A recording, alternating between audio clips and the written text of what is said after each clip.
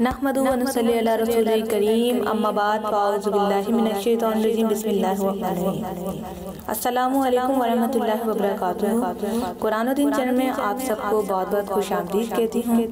آج کا وظیفہ جو میں آپ کو بتاؤں گی وہ رزق کے لیے ہے کیونکہ آج رات شب شابان کی پندرہویں رات یعنی شب برات کی رات آپ نے وظیفہ کرنا ہے جس سے آپ کے اللہ پاک رزق میں برکت عطا کرے گا اگر آپ چینل پر نیو ہیں اور آپ میری ویڈیو فرسٹ ٹائم دیکھ رہے ہیں تو چینل کو سبسکرائب کر کے بیل آئیکن کو دبا دیں تاکہ آپ کو رمضان کے بہت ہی اچھے وظائف مل سکیں اس کے علاوہ جو بھی آپ کی پریشانیاں ہیں اس کے وظائف آپ تک پہنچ سکیں تو وظیفہ جو ہے آپ نے وظیفہ بھی ہے ساتھ میں اور نفل بھی پڑھنے ہیں جو رزق کے لیے ہیں صرف دو رکعت نفل ہیں جو اس رات آپ نے ادا کرنے ہیں کسی بھی وقت کر سکتے ہیں۔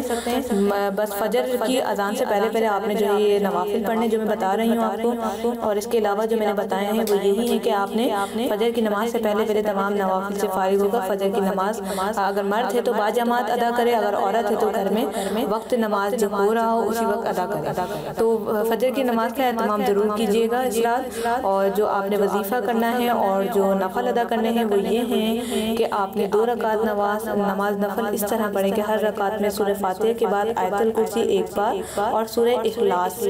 قل هو اللہ احد یعنی پندرہ مرتبہ پڑھنا ہے اور سلام کے بعد آپ نے درود شریف درود شریف دیکھیں بہت سارے ہوتے ہیں، بڑے بھی ہوتے ہیں، چھوٹے بھی ہوتے ہیں، تو آپ نے سو مرتبہ پڑھ کر ترقی رزق کی دعا کرنی ہے۔ یعنی اگر آپ کو کوئی بزنس ہے تو اس کی ترقی کے لیے اور اگر آپ کے رزق میں کشادگی چاہتے ہیں، رزق میں برکت چاہتے ہیں، تو اس کے لیے آپ نے بعد نماز نفل جو ہیں، یہ والی نماز آپ پڑھنے کے بعد ادا کرنی ہے۔ یاد رکھیے گا، دو رکعت نماز نفل سورہ اخلاص پندرہ مرتبہ پڑھنی ہے، سب سے پہلے فاتحہ پڑھنی ہے، اس کے بعد آیت الکرسی اور پندرہ مرتبہ سورہ اخلاص پڑھنے کے بعد سلام پھیریں اور سو مرتبہ درود شریف پڑھیں۔ چھوٹا بھی پڑھ سکتے ہیں، بڑا بھی پڑھ سکتے ہیں۔ اس کے بعد ترقی رزق کے لیے آپ نے دعا مانگی تو جو لوگ میرا وظیفہ دیکھ رہے ہیں اور جو آگے شیئر کر رہے ہیں، ان سب کے لیے دعا کروں کہ اللہ پاک ان کے رزق اور میں ترقی اور برکت عطا فرمائے۔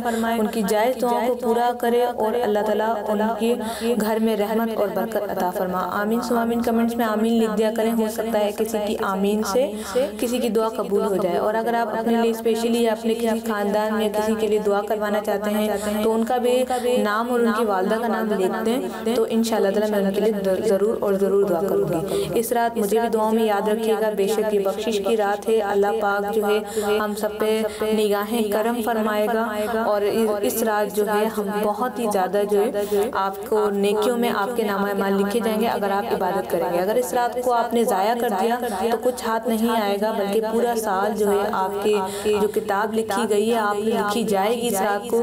وہ جو ہے آپ کے لیے وہی ہوگا جو اللہ تعالیٰ چاہے گا۔